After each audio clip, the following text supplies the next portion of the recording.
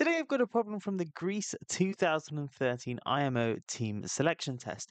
We want to find all pairs of non-negative integers m and n satisfying n times n plus 2 over 4 equals m to the 4 plus m squared minus m plus 1.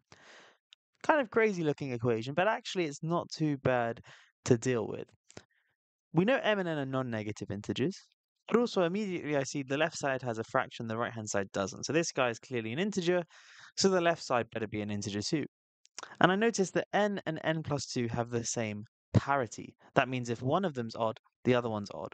If one of them's even, the other one's even. So that means that n cannot be odd, because if n was odd, we'd have an odd number times an odd number, which is odd. And if I divide that by 4, that's definitely going to be a fraction. So I know n is even, so I can replace it with 2k where k here is some non-negative integer. So it's either a natural number or it's zero. And if I just replace that and kind of simplify this, I get k squared plus k equals m to the 4 plus m squared minus m plus 1.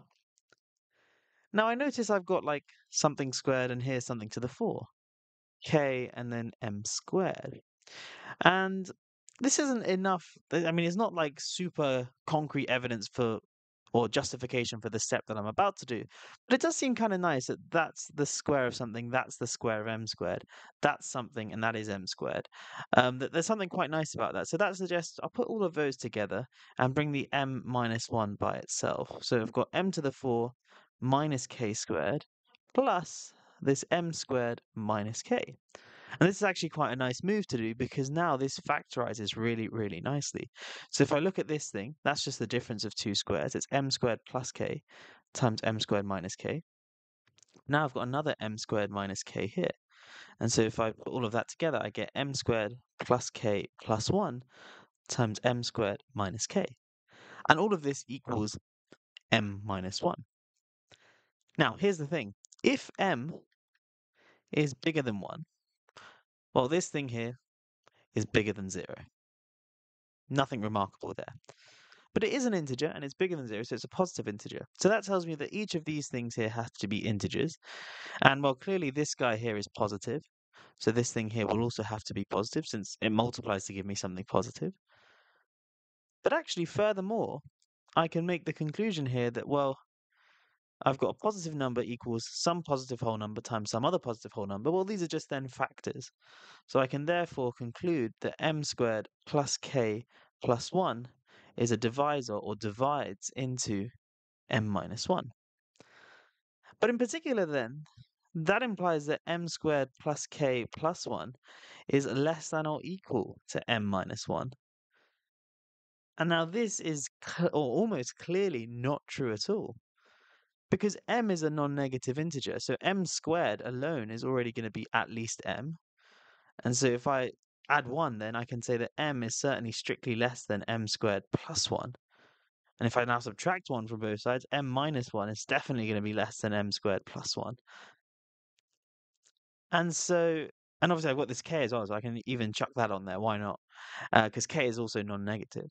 And so this thing here is no way going to be less than or equal to m minus 1.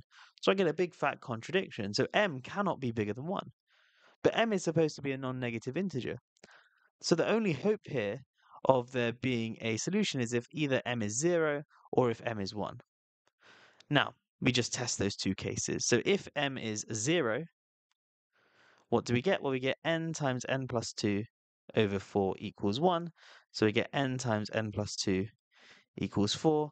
Um, and does this have solutions? Well, you could expand this and get n squared plus 2n minus 4 is 0. But this thing doesn't, I mean, doesn't have any uh, integer solutions for n. So we hit a bit of a dead end. Um, the other thing is then when m is 1, I'll maybe just squeeze this in up here. When m is 1, what does this thing here become? Well, you get n times n plus 2 over 4 equals 1 plus 1 minus 1 plus 1, which is 2.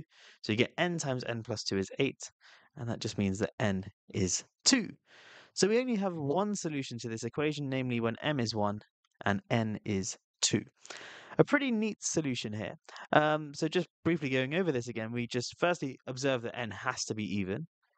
Then replacing it with 2k, we get this equation which kind of, if we bring terms to one side, factorizes quite nicely. And then because everything here is an integer, we know that this term must be a factor of m minus 1, but it therefore in particular must be smaller than or equal to it.